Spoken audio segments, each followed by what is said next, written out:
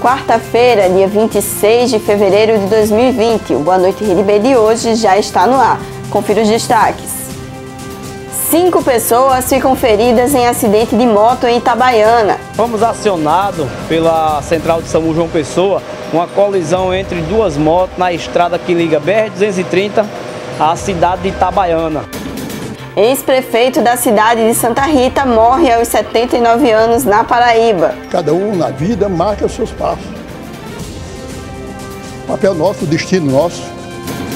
Novo coronavírus já atinge 10 países da Europa. Já temos na Itália um quadro muito preocupante: sete mortos, com 11 cidades em estado de emergência. Mulher constrói escola para atender crianças carentes de uma comunidade de João Pessoa. E ainda, confira um pouco de como foi o carnaval em João Pessoa.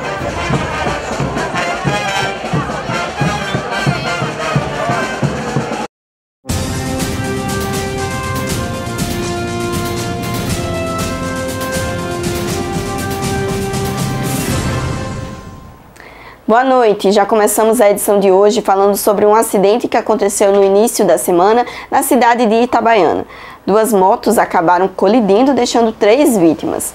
O SAMU foi acionado, né? Quando o SAMU chegou na ocorrência, estava lá prestando os primeiros atendimentos, uma moto com duas pessoas acabou colidindo em uma dessas ambulâncias que estavam paradas. O que acontece? Mais duas pessoas ficaram feridas, totalizando cinco vítimas. Vamos ouvir a sonora com o condutor de uma dessas ambulâncias. Fomos acionados pela Central de São João Pessoa, uma colisão entre duas motos na estrada que liga BR-230 à cidade de Itabaiana. A USA 47 de Sapé deslocou ao local e ao chegar lá no local, com apoio de ambulâncias da região de Itabaiana, né, infelizmente a, sinala, a sinalização da ambulância, duas pessoas que vinham em uma moto também bateram na ambulância lá da região e era três vítimas, se passou a ser cinco vítimas. E infelizmente, né, ainda estão insistindo em beber cachaça e pegar moto e pegar carro. O resultado está aí. Muitos estão vivos para contar a história. E aqueles que não estão vivos, então não vale a pena arriscar. Direção e bebida não anda junto. A gente só tem é, a agradecer a toda a equipe que fez parte desse socorro. Estão aí aproximadamente de 4 a 5 pessoas encaminhadas para o Hospital de Emergência e Trauma. Olha, interessante o que o condutor fala, né? Bebida não combina com direção e as pessoas ainda, apesar de tantos alertas sendo feitos diariamente, é, tanto em redes sociais quanto dentro dos veículos de comunicação, também pelos órgãos competentes, eles continuam bebendo e misturando aí bebida com direção, aí dá nisso, né? Uma, um acidente com tantas vítimas e, claro, né, pessoas em estado grave. Isso aí fica o alerta para você que gosta de beber, né, ingerir álcool. Se você for beber, não dirija. Agora nós vamos falar sobre a morte do prefeito, é, o ex-prefeito, aliás, de Santa Rita. Ele faleceu na segunda-feira, na madrugada da segunda-feira. Ele, Marcos Odilon, tinha 79 anos, era historiador e teve uma longa trajetória política aqui no estado. Ele já foi prefeito de Juarez Távora por dois mandatos e governou a cidade de Santa Rita por seis mandatos. Também foi candidato a prefeito aqui em João Pessoa em 1985 e candidato a vice-governador do estado em 1986. Amigos e familiares estiveram presentes para prestar a última homenagem. Vamos ouvir o que eles falaram. Cada um na vida marca seus passos. O papel nosso, o destino nosso pouco importa as fronteiras ideológicas, a visão ideológica do mundo. Acima disso, ele teve uma passagem. Identificou-se com Santa Rita, o mundo dele era princípio, fim do povo, do seu povo de Santa Rita. O Estado perde, sobretudo Santa Rita perde muito, porque ele foi uma figura que é, abraçou a cidade acima de tudo. As pessoas estão muito tristes, porque sabe o trabalho que ele fez em Santa Rita. Doutor Marcos fez Santa Rita crescer. Doutor Marcos fez coisas que ninguém acreditava. Criou bairros em Santa Rita que ninguém acreditava que pudesse crescer, hoje em Santa Rita. Agora vamos para o noticiário internacional. A Itália já contabiliza as primeiras mortes por conta do coronavírus e quem tem informações de como está a situação pela Europa é o nosso correspondente João Neto. Boa noite a todo o pessoal da Rede B e seus telespectadores. É, aqui fala João Neto, diretamente da Europa, aqui especificamente da Suíça, e vamos falar de um assunto que está preocupando toda a classe médica, política e toda a classe financeira e todo o povo da Europa, que é a chegada do coronavírus. Aqui já temos na Itália um quadro muito preocupante, sete mortos, com 11 cidades em estado de emergência, isoladas. É, isso é muito preocupante. Inclusive, é, isso derrubou as bolsas europeias hoje os níveis estão abaixo de 3%, 2,5% a 3%, o, o percentual das bolsas europeias hoje.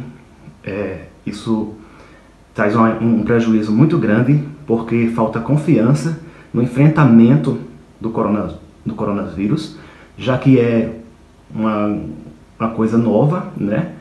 É, parecido com a gripe espanhola, mas feito de, de um um contágio mais agressivo. Então aqui estamos apreensivos e é, cautelosos com essa, com essa situação do, corona, do coronavírus aqui na Europa. João Neto para a Rede B. Agora vamos falar de uma história que traz inspiração. Vamos conhecer a Tia Boneca, ela que criou uma escola numa comunidade carente aqui de João Pessoa e que deixa a gente entusiasmado e com esperança é, no próximo, né? Pessoas que ajudam outras pessoas nos dão esperança. Quem conta esta, esta história é o repórter Bruna Taide. No sorriso de Adeilda, a solidariedade.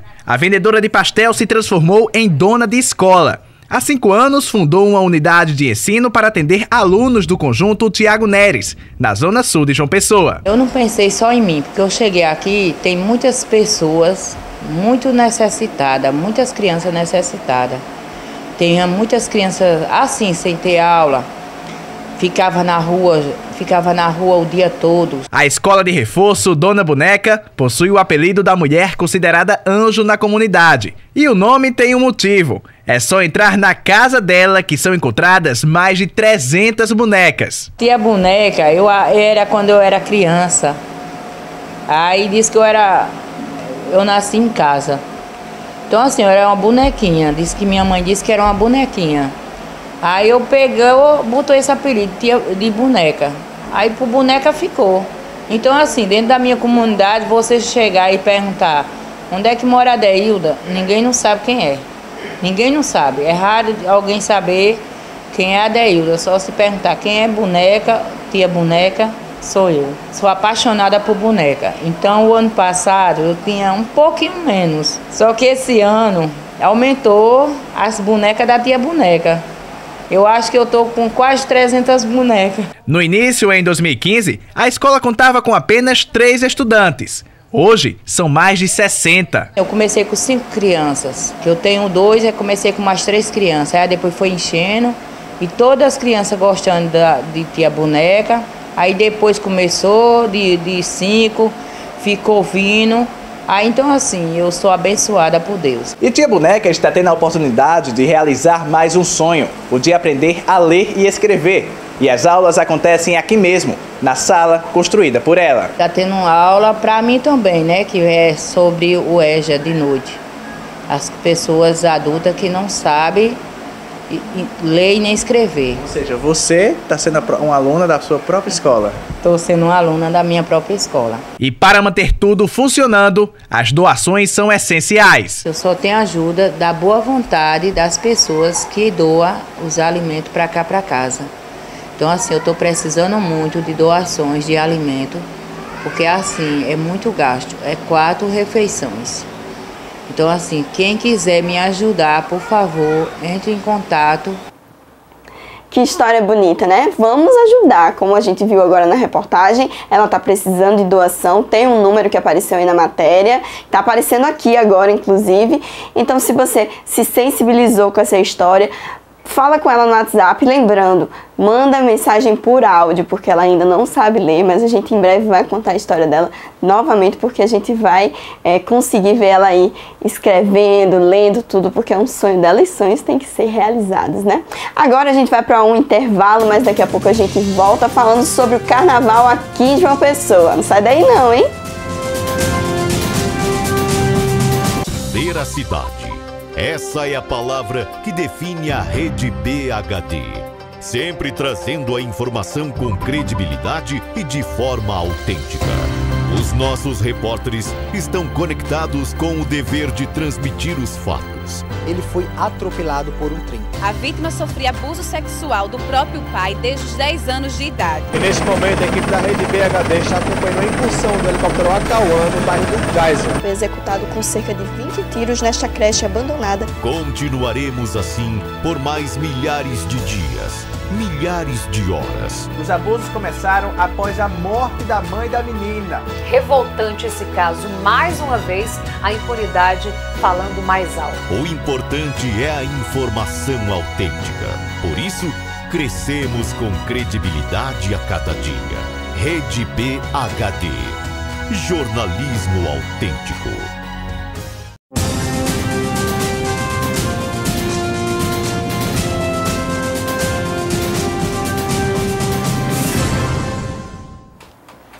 Boa noite, Rede B está de volta e agora vamos falar sobre empreendedorismo na época do carnaval.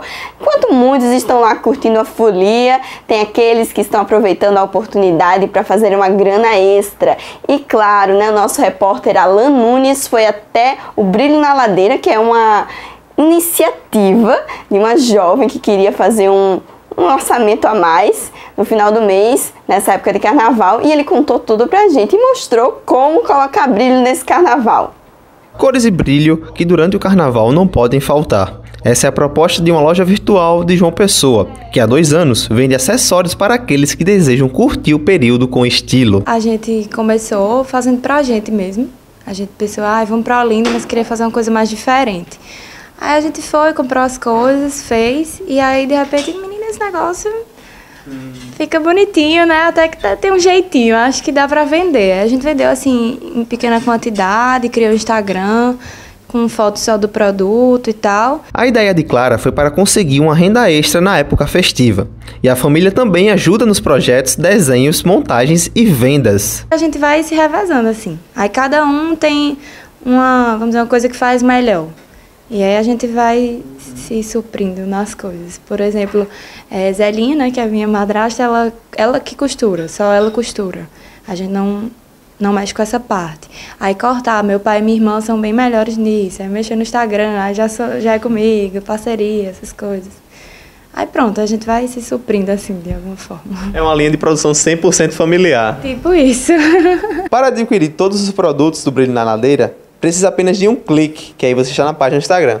E aí você consegue entrar no clima do carnaval, seja na cabeça, na orelha ou no corpo todo. Tem pelo Instagram, a pessoa pode pedir pelo direct ou então tem o um link lá com o meu número do WhatsApp e eu que recebo os pedidos e também tem na loja que já já estão os pedidos para pronta entrega e a gente faz as retiradas podem ser retiradas aqui aqui em casa, que é no bairro dos Estados, ou então em Manaíra, que é na loja Only. E também a gente faz entrega, e a gente cobra uma taxa de entrega. época de carnaval é aquela movimentação na praia. No centro da cidade está mais tranquilo, né? O repórter Wesley Martins foi mostrar a diferença desses dois lugares nessa época de carnaval. Esse feriadão teve gente que aproveitou demais, né, Wesley? Com o feriado, o dia começou preguiçoso no centro da capital. E mesmo com um movimento fraco, ainda tinha gente trabalhando. Hoje está fraco demais. Mas mesmo assim tem que trabalhar, né? É porque a gente precisa trabalhar, né? estamos trabalhando. Assim como o semáforo, as lojas no centro de João Pessoa ficaram fechadas. Movimentação só de alguns ambulantes. Mas na orla da capital, o cenário foi esse: praia lotada e muita gente que veio aproveitar o feriado de carnaval e pegar aquele bronze. Tá bom o movimento, graças a Deus tá bom. A gente viu que a, a movimentação no centro da cidade está bem parado, mas aqui é bom para os ambulantes que estão na praia, né? Com certeza, é verdade. Sempre que tem data comemorativa assim, feriado, o movimento é esse? É sempre é lotado. É bom demais ter para os pais de família chegar para trabalhar, e tanto para os comerciantes se divertir, é bom. E tem aqueles que preferem curtir o carnaval longe da folia. Não gosta muito da folia, não? Não, folia não. Só o descanso mesmo e a praia. César Júnior decidiu vir aproveitar também aqui a praia com a família. Ele veio de Porto Alegre. O que é que o senhor está achando aqui da Orla, da capital? Uma maravilha. Bem diferente do Rio Grande do Sul. Sempre procura assim aproveitar o feriadão, principalmente agora em carnaval, mais tranquilo assim, né? Um pouco mais reservado. É, feriadão, carnaval e sempre uma capital diferente, uma praia diferente. E João Pessoa tá gostando? Bastante. E a criançada também faz a festa. Vanessa veio com os filhos para se divertirem no dia de folga. Tô gostando, viu? Se eu, aí a gente ia pra Lucena, mas eu preferia a praia, porque Lucena foi mais cansativo. Uhum. Ali mais gasto, mais cansativo, para no outro dia trabalhar, e quarta-feira eu trabalho. Eu preferi mesmo a praia mesmo. Poder andar, né? Pelo menos quer saber isso aqui. Quem aproveita é as crianças, né? Qual é o nome dele? É, é Arthur Felipe. Arthur, tá gostando aqui, Arthur, da praia? Tá gostando? Arthur tá com vergonha, mas tá gostando sim, viu? e também aconteceu nesse final de semana, início de semana, né? Carnaval Tradição de João Pessoa. Os vencedores foram a Escola Unidos do Roger, a Piratas de Jaguaribe, Urso Amigo Batucada e Africanos também foram campeões nessa grande festividade que reuniu muitas pessoas, né? Agora vamos ver como foi o Folia de Rua de João Pessoa 2020. Olha, esse ano o Bloco dos Atletas reuniu 150 mil foliões. É muita gente na avenida, né? Vamos ver como foi essa movimentação.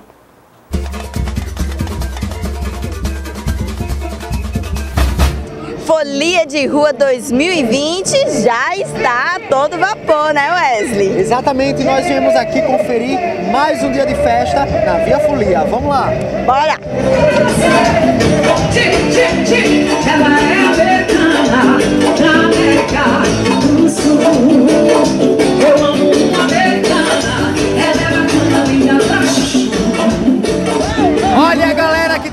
Corda, com certeza curte bastante, assim como o Rafael. Rafael, fala pra gente como é participar aqui do Carnaval de João Pessoa. É o melhor carnaval do Brasil, é aqui. Vem, João Pessoa, pode vir. E com Duval, vale a pena? É o melhor de todos. Ontem eu não vim não, Duval hoje.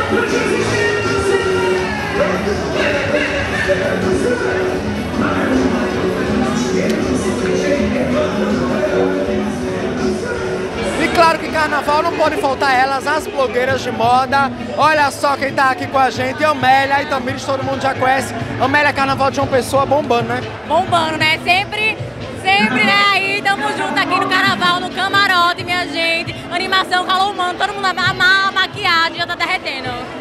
E você, Itamires, carnaval rolando e você só bombando com os looks na internet, né? Com certeza, né? Sempre tem que ter aquele look chegar chegando, tem que fazer toda a produção. A gente sai correndo atrás de looks super diferentes pra chegar daquele jeito, né? Tá fazendo sucesso na internet, montando provadores diferenciados, né? Com certeza, sempre tá diferenciando nessa área, né? Amélia, agora o que é que não pode faltar no seu carnaval? Ah, muito respeito, né, com todo mundo, muita animação e aquele look maravilhoso, né?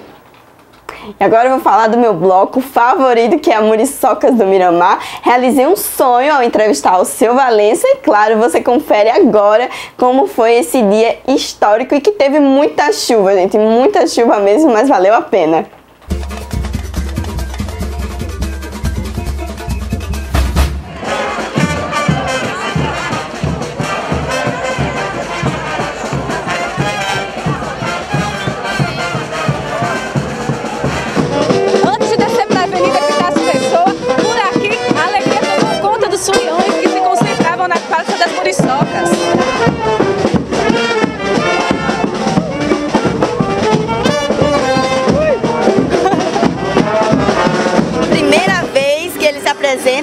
Nas Muriçocas. E como é que tá a emoção de se apresentar em um bloco tão tradicional? Ah, emoção muito grande, agradecer ao Fuga pelo convite, que foi uma coisa assim muito especial.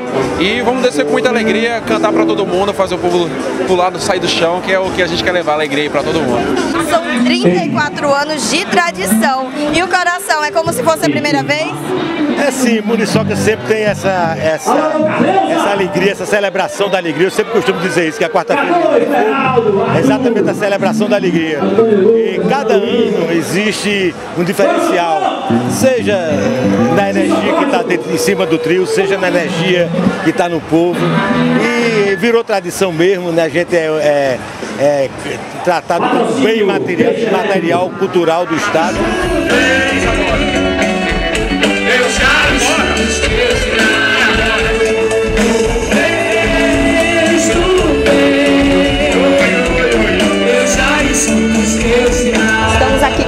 Principal atração da Noite das Muriçocas, ao seu Valença, ao seu como é a emoção de voltar aqui para João Pessoa se apresentando nesse bloco que é tão tradicional. É, já virou uma tradição para mim também de vir ao, a, o Muriçoca, Muriçoca do Miramar.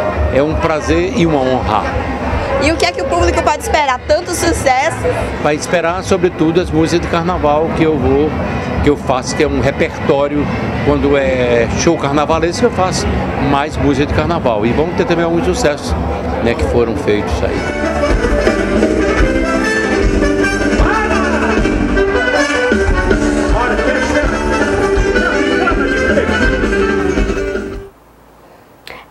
Que a edição de hoje foi animada, né? Muito carnaval, muita festa. E é isso que a gente espera, que as pessoas se divirtam de forma saudável, respeitando sempre uns aos outros, né? A gente vai ficando por aqui muito obrigada pela sua companhia. Até o nosso próximo encontro.